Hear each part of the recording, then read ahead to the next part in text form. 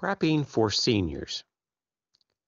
Senior citizens or those that are in their later stage of life, maybe they're retired or maybe they just slow down a bit. Their kids are out of the house, and you have something that a lot of people don't a greater depth of wisdom and experience from life.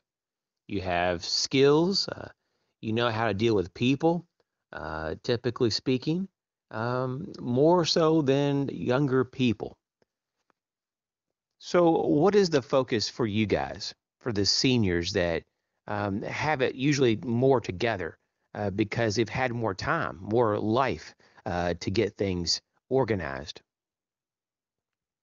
I would take this time to maintain what you have and to finish up any uh, open ended projects that you have open. And I would downsize if you need to do that. Identify your your real needs. I mean, how much space do you really need? If the kids are gone and if it's just you and your wife or you and your spouse, how much room do you need? Maybe you live by yourself.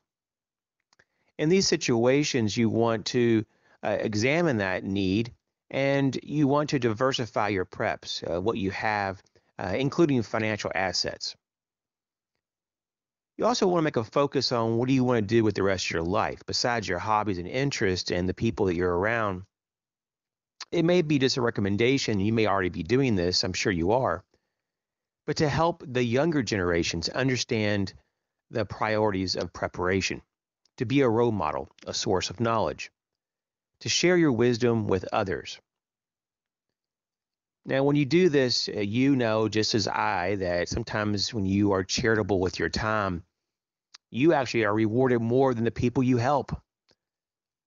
So, with this knowledge, sometimes you'll have insights, including uh, how you should maybe go about updating your gear, um, updating any kind of technology that has gone about over the years, how to better your situation. I see also a lot of retired individuals looking into and investing into renewable resources, sustainable lifestyle choices. And that may be for you as well. But I always hear over and over from those who are who are elder to me to always live below your means and always save for a rainy day. Enjoy your life.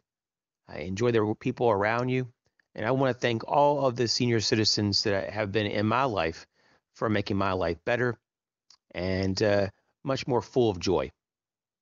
Thanks for watching. You guys take care.